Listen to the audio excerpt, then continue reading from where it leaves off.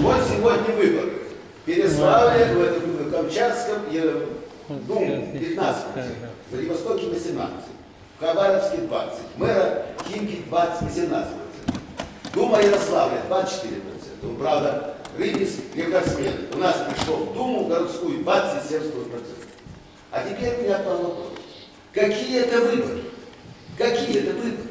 нелегитимно. Это же фарс. Согласен. Насмешка, плевок. Имеешь право считать состоявшимся, когда пришло минимум 51%. И вы агитируете за эту власть, за Путина. Вы лично агитировали нам. Доклад прочитали.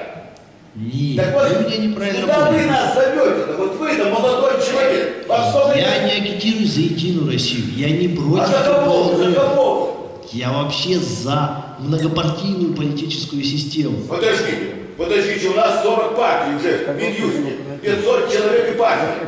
Это же идиотизм, это же дурость высшей марки, 500 человек и партии. Это любой колхоз сейчас партию создаст. Ну, естественно, они будут объединяться. Есть Во-первых, я выступал на митинге, вот они сидят свидетели, три года назад, и сказал, дали бы мне пистолет, я бы Путину в лоб всю обойму засадил. Мне сказали, вы мужики-то, и вот, Синай Саш, вы экстремист, развиваете. Это предатель народа номер один.